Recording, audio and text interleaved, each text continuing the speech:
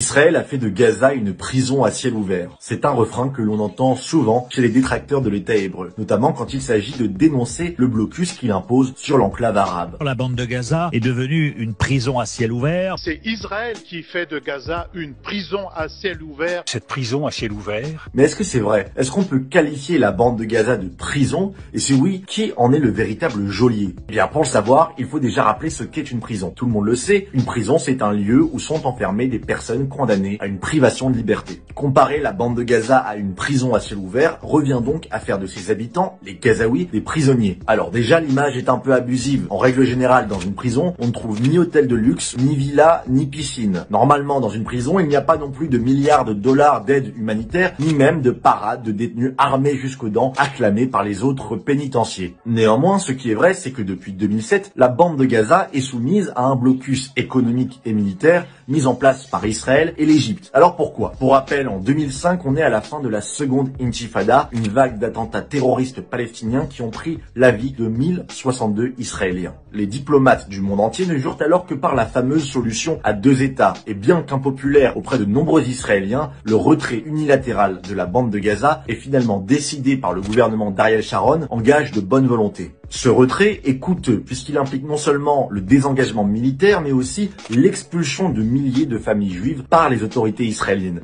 Je vous laisse imaginer la triste symbolique. Malgré tout, au nom de la paix, le gouvernement israélien poursuit sa politique et au 12 septembre 2005, il ne reste plus un juif dans la bande de Gaza. Résultat, eh bien très vite, des groupes terroristes palestiniens exploitent la zone désormais autonome comme base de lancement de roquettes vers Israël et comme un centre de formation aux attentats suicides. En 2006, l'organisation djihadiste Hamas y remporte les élections et en 2007, poussé par une forte adhésion populaire, le groupe terroriste s'empare du pouvoir par la force. C'est seulement à partir de là qu'Israël et l'Égypte décident de mettre en place un blocus sur l'enclave désormais décrété territoire hostile. Et ça se comprend puisque le Hamas est une organisation terroristes issus des frères musulmans dont la charte fondatrice appelle non seulement à la destruction d'Israël, mais aussi au meurtre de tous les juifs du monde. Ce blocus, il vise essentiellement à les empêcher de recevoir des armes et de l'argent de la part de pays hostiles à Israël, notamment de l'Iran. Bien sûr, l'embargo se répercute inévitablement sur la population civile de Gaza, dont la liberté de mouvement et l'économie se voient entravées. Pour autant, il faut déjà dire que ce blocus n'empêche pas Israël de soigner chaque année dans ses hôpitaux des centaines d'enfants de Gaza et de délivrer à des milliers d'ouvriers gazaouis des permis de travail sur son propre sol. Mais surtout, il faut souligner qu'en 17 ans, les Gazaouis n'ont jamais cherché à renverser la mainmise du Hamas et ainsi à faire tomber le blocus qui pèse sur leur propre vie. Et c'est précisément pour ça qu'on ne peut pas parler de prison à ciel ouvert. Un prisonnier n'a pas le luxe de sa libération. Les Gazaouis, si. Depuis 2007, il n'a tenu qu'à eux de tourner la page du terrorisme